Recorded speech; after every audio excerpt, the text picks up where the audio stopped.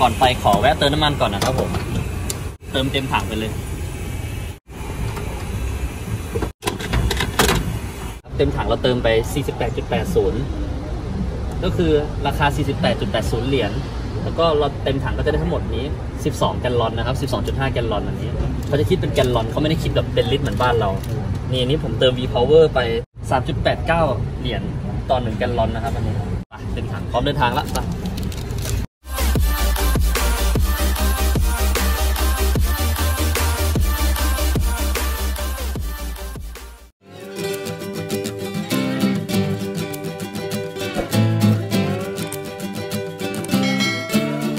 สวัสดีครับ ตอนนี้เราอยู่ที่เมืองโซแวงนะครับผม เป็นเมืองเล็กๆ ในรัฐแคลิฟอร์เนียนะครับ เป็นเมืองสไตล์เดนมาร์กนะคะ เป็นเมืองแบบว่ายุโรปยุโรปหน่อยเนาะ สมัยก่อนก็จะเป็นชาว Danish ที่มาตั้งรกรากถิ่นฐานอยู่แถวนี้นะครับ ใช่ เขาบอกว่าตั้งแต่ปี 1911 แล้ว ตั้งแต่แบบว่าเรายังไม่เกิดเลยเนาะ ใช่ นี่ตรงนี้เป็นร้านเบเกอรี่นะครับผม เป็นแบบร้านสไตล์ Danish นะครับ เขาก็จะมีธงนะคะ ใช่ ธงเดนมาร์ก ใช่ อันนี้คือธงเดนมาร์กนะครับผมวันนี้ วันนี้อากาศดีมากเลยเนาะ ใช่ อากาศร้อนร้อน เดี๋ยวเราจะพาไปดูแลนด์มาร์คที่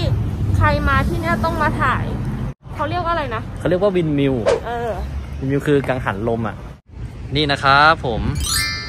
นี่อันนี้เขาเรียกว่า windmill นะครับผม อันนี้ก็จะเป็น พวกของฝากของที่ระลึกนะคะ ร้านแบบนี้ แล้วนี้ก็จะเป็นพวกร้านเบเกอรี่ร้านอาหาร แล้วตรงโน้นแลนด์มาร์คที่ทุกคนต้องมาถ่ายนะคะ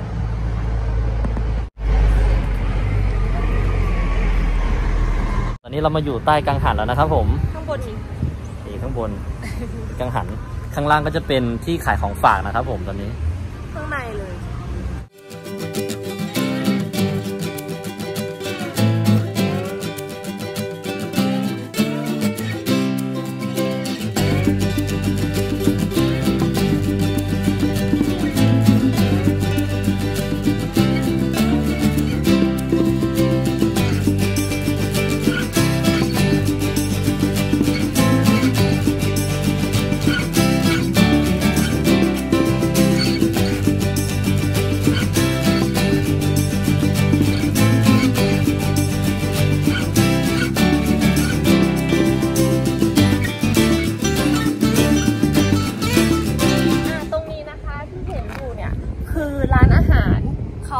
โต๊ะให้มานั่งแบบ outdoor เพราะว่าส่วนตรงเนี้ยคือมันจะเป็นถนนให้รถวิ่ง แต่ว่าเขาสั่งปิดถนนไม่ให้รถวิ่งนะคะ เพราะว่าเขาจะเอาร้านอาหารอะไรเงี้ยมาตั้ง outdoor อะไรกันเนี้ยเนี้ยคนไม่ค่อยเยอะเท่าไหร่เพราะว่าวันนี้เป็นวันจันทร์นะคะ ก็จะคนเนี่ยปะปายอย่างเงี้ยเนาะแต่เมืองมันน่ารักมากอะ่ะใช่เมืองสไตล์เดนนิสใช่ที่เห็นเนี่ยธงเนี่ยก็คือธงเดนมาร์กกับธงอเมริกาเพ ราะว่ามันอยู่ในแคลิฟอร์เนียใช่อารมณ์เหมือนแบบว่าเมืองยุโรปเล็กๆ ในอเมริกาเนี่ย มันดูชิวๆมากเลยอะ่ะเธอดูดิเออคนก็จะมากินข้าว outdoor กันนะ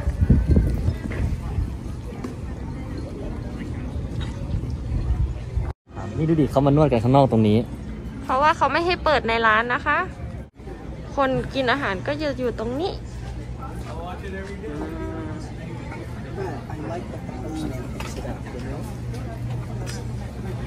นะคะเขาจะมีรถให้เช่าแบบนี้เลย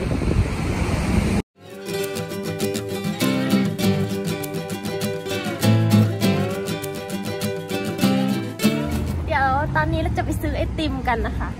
มันร้อนมาก อากาศที่นี่คือร้อนมาก 30 กว่าองศา จะไปกินไอติมร้านนี้ ไอติมเจลาโต้ไปเนี่ยมาไอติมเจลาโต้คือไอติมแบบสไตล์แบบนึบนึบนึบเหนียวเหนียวๆอะนะ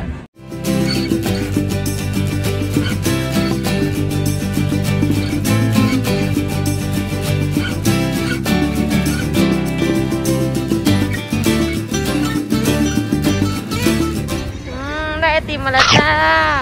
ถ้วยเล็กๆ เวลาลายเลยเหนียวเหนียวๆดีนะไอติมเจลาโต้เนะอืมอืมไหนดูสิมันคล้ายๆแบบสตรอเบอรี่เชอร์เบตอะมันไม่ค่อยแบบ มันไม่ไม่ค่อยผสมนมนะอันนี้เปรี้ยวๆหน่อยนิดนึงแบบว่าร้านอาหารนะคะ ยังไม่เปิด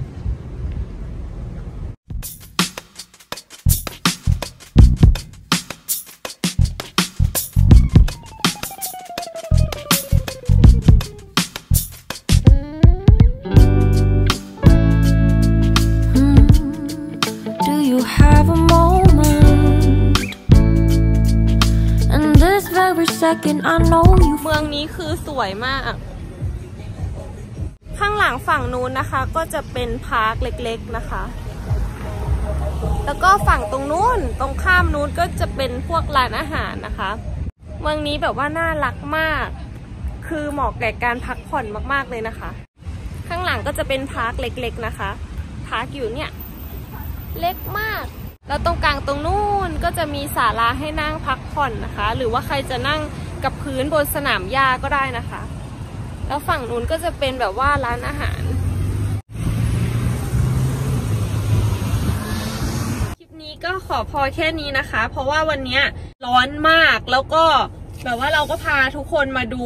เมืองเล็กๆ น่ารักในแคลิฟอร์เนีย แล้วสไตล์แบบว่ายุโรปยุโรปสไตล์เดนมาร์กอะเนาะ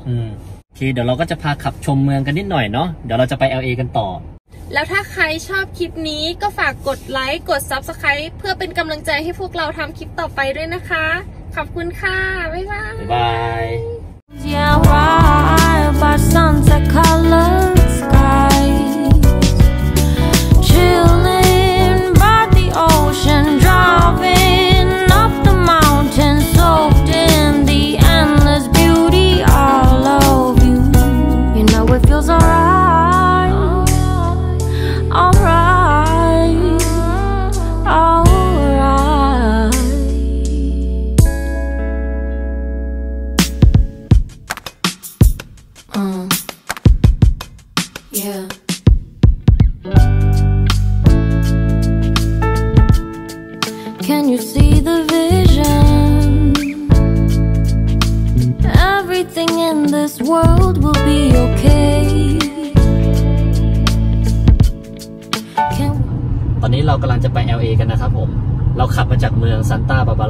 ผม